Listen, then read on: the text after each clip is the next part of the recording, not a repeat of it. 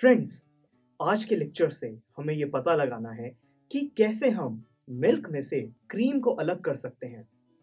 आजकल मार्केट में अलग अलग टाइप के मिल्क अवेलेबल हैं, जैसे कि full cream milk toned milk double toned milk इन सब में डिफरेंस ये होता है कि फैट कंटेंट अलग अलग होता है। इस एक्सपेरिमेंट के लिए आपको फुल क्रीम मिल्क लेना है, यानी कि एक ऐसा मिल्क लेना है जिसमें क्रीम एग्जिस्ट भी करती है। अब डबल टोन्ड मिल्क में फैट कंटेंट बहुत कम होता है तो उसमें क्रीम कहाँ से निकलेगी? तो इसीलिए फुल क्रीम मिल्क लीजिए, उसे एक कंटेनर में डालिए और उसे फिर सेंट्रीफ्यूज मशीन में दो मिनट के लिए रख दीजिए।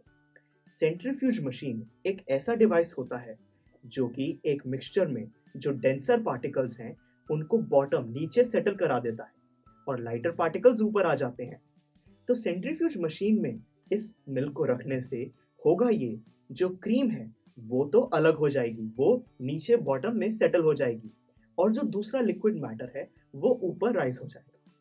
अगर आपके पास सेंट्रीफ्यूज मशीन नहीं है तो आप मिल्क चर्नर भी यूज़ कर सकते हैं, वो भी इसी तरीके से काम करता है। ऐसा करने से आपके पास जो भी मिक्सचर होगा, उसके अंदर क्रीम आपको नीचे क्लियरली विजिबल होगी। अब सिंपली फिल्टरेशन के प्रोसेस से आप इस क्रीम को, इस मिक्सचर से अलग कर सकते हैं।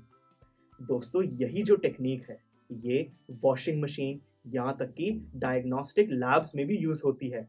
तो इसीलिए आई होप कि आपको ये पूरा जो टेक्निक है, काफ़ी आसान लगी होगी। रोज़ किसी ना किसी फॉर्म में हम अपने घर में इसको यूज़ करते हैं।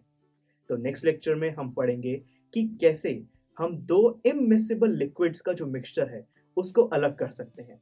See you in the next lecture I am sure students आपको ये लेक्चर बहुत ही पसंद आया होगा।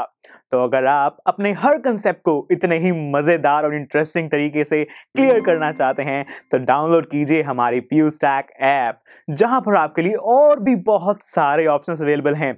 जैसे कि sample papers back exercise solutions return answers and much more so what are you waiting for download the app now